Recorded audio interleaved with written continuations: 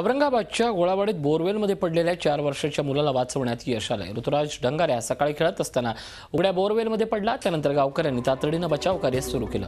महसूल यंत्रणाही तत्काळ कामाला लागली. साडेतीन तास शर्थीच्या प्रयत्नानंतर ऋतुराजला बोरवेलमधून बाहेर काढण्यात पोलिसांना यश आलं. ऋतुराजच्या जीवाला धोका पोहोचू नये यासाठी बोरवेलमध्ये ऑक्सिजनही सोडण्यात आला होता. या बोरवेलच्याच बाजूला जेसीबीच्या सहाय्यानं खड्डा खोदण्यात आला आणि त्यानंतर दोरी सोडून त्याला बाहेर काढण्यात आलं.